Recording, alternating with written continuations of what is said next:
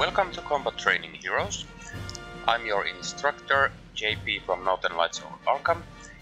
Here we search for player card combos to help thwart the villain's evil plans in Marvel Champions the card game. Today I will talk about Iron Man's ally version, so let's get started. If you like my content, hit the subscribe button so you don't miss anything. The ally version of Iron Man comes in the Doctor Strange Hero Pack. Iron Man, Tony Stark, is a leadership ally.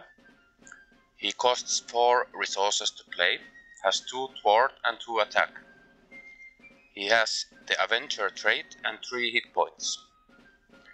His card reads Reduce the cost to play each upgrade on Iron Man by 1. He has a wild icon resource.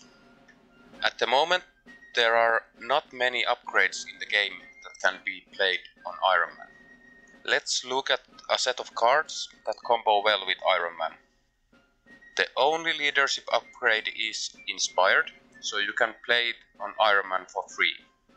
Inspired boosts Iron Man's thwart and attack to 3 each, so he will hit hard and thwart well. Another upgrade that you can play on Iron Man is Honorary Avenger, but as it already costs 0, Iron Man's ability does not make it any cheaper. It's still a card to consider, offering more help to the ally, keeping it on the table for longer. When we get Spider-Woman hero in the Rise of the Red Skull story box, we can also start adding in cards from other aspects but I won't speculate more on those combos as the book is not coming out in a while. I may revisit Iron Man Ally when we can play him in a Spider-Woman deck with two different aspects and their upgrade cards.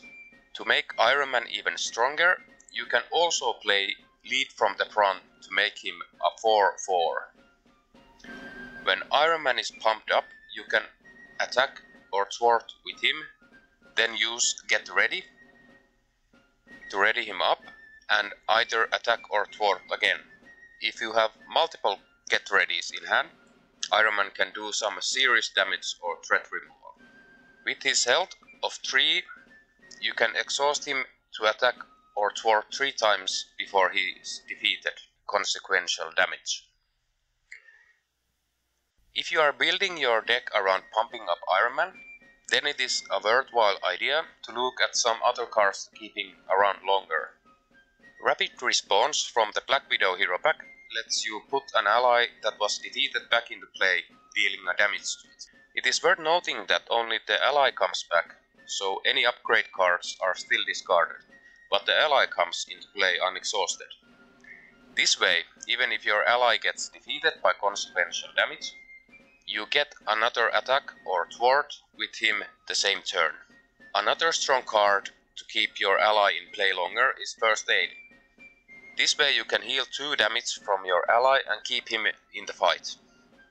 I will quickly mention an upcoming card from the Hulk Hero pack that is Inspiring Presence. This basically combines the Get Ready and First Aid cards, healing 1 damage and readying the ally. So it is going to go well with decks that pump up allies exhausted for multiple attacks or thwarts a turn. I will add a link to the end of the video to a recent playthrough with Thor Leadership, in which I played Iron Man Ally and used most of the cards I talked about in this combat training. So you can check out how Iron Man Ally works. I hope you found some useful tips to use in your deck while battling the villains in Marvel Champions the card game. Leave a comment below what you thought about this time's combos. Thanks for watching and until next time.